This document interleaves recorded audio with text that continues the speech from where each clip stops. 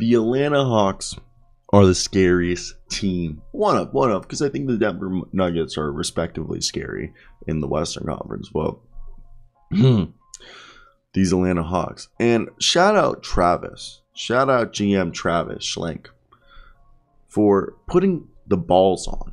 Okay? It felt like for the longest time, Travis.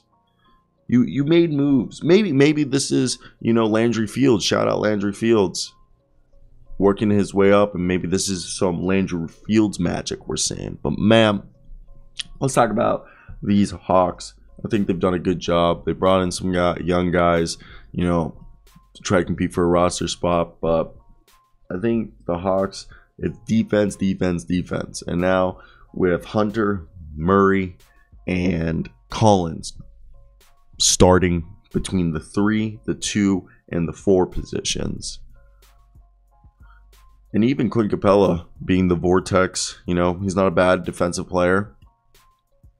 I'm gonna be honest, this Hawks team can do it. And the Hawks defensive rating last year, 114.9. Not good. Not good. Okay. And if we look at their defensive rating in 2020 to 2021, they were 113.3. And they won significantly more games. Okay, that year. Yes, they they played less. Like they and the crazy part is is their offense was basically the same. It was the defense. And that defensive hit, okay, is what in my opinion ranks, you know, if we go over here, the best defensive stats in by teams, guess who was basically the worst team in the NBA last year? The Atlanta Hawks were ahead of only the Kings, the Pacers, Rockets, and Trailblazers on defense. Okay. And if we go back to the year before when they made it to the Eastern Conference Finals, the Atlanta Hawks were actually one, two, three, four, five, six, seven, eight, nine. They were the 21st. So they fell from 21st to 26 in defensive rating. For me, you look at the Spurs, the Spurs were always in the middle of the pack. Okay with DeJounte Murray. I think that's a big thing you have to look at. I mean, and the other thing I would also like to say that Gregg Popovich coaches defense, but I do believe that hey, DeJounte, because they're gonna have they're gonna high trade Trae Young on the you know obviously the worst player on the opposing team. Okay, so like offensive player, and with that being said, I think it's in their best interest to utilize DeJounte Murray and De'Andre Hunter as like these kind of like collapsing, pressuring. So I want them to trap and, you know, basically those two guys, Murray and Hunter, I want them on the perimeter, basically suffocating the defense on the perimeter to kind of create this like vortex in a V shape. So if they're two on the perimeter and then you stick Trae in the corner guarding the worst person, use Hunter and Murray kind of as this vortex. Even you could use Collins as well. Those three guys as a vortex force them, similar to how the Jazz would do into Rudy Gobert, but into Clint Capela. That way, you force guys either to take a very contested three point shot, or you force them to go into the middle where they have to see Clint Capela because that's the way they'll leave Clint Capela on an island, sort of how Rudy Gobert would left. And you know, this is going to work so much better than the Jazz because the Jazz didn't have perimeter defenders like the Hawks do. So imagine you, Clint Capela is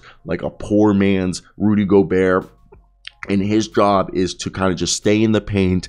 And if anybody comes into the paint, that's his job to f- mess those guys' days up. Okay, you know, use verticality, get in their face, contest the, the shot inside the paint, and get the rebound. Okay, because Dejounte Murray, Collins, and Hunter, their jobs on the perimeter are going to make sure guys can't get an easy look switch between the three of them, and force, if they're going to drive, force the ball handler to head towards Clint Capela. That way they can sag off once Clint steps up and they can rotate onto another guy because when Clint steps up, somebody's going to try to cut behind Clint. So that's when you want John Collins, if he's following, if he's, you know, trailing, to switch onto the guy that's going to be slashing behind Capela to stop the backdoor cut.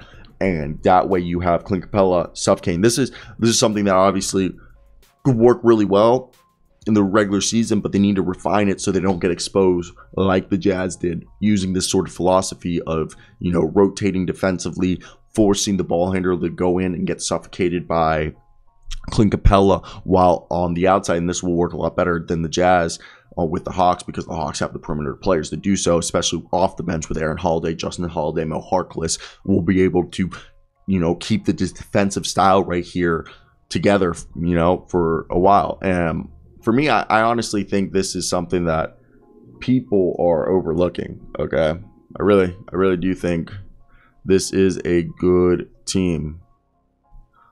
I don't know. And I also do believe Trae Young's an MVP candidate this year because he's been playing a lot more off ball. And Trae Young was training with Steph Curry.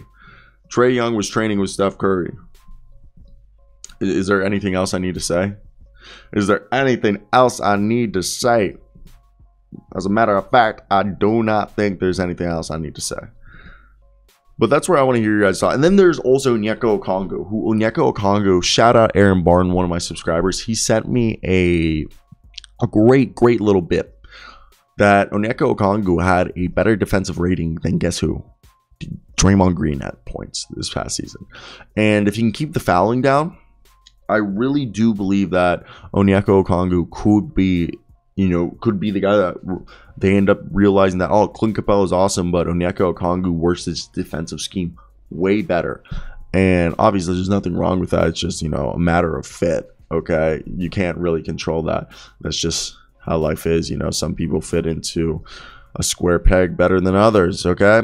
And for me, I just look at this and I just, I find it rather interesting.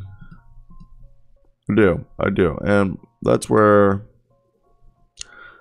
I think this is a team that definitely, definitely is going to, you know, surprise people. Maybe I'm wrong. Also, Dragan Bender is now in Spain. Was Dragan Bender that big of a bust? Like, goddamn. Either way, this that's a different video for a different day. Now, I hope you guys do have a great day. Let me know your thoughts down below. What do you guys think of this team? I got, yeah, no, I, I, I, want to hear your thoughts. What is this? What would you guys do? You know, I just think it's rather interesting. You know, seeing where where we're at at this point. And yeah, okay. Take care. I gotta go.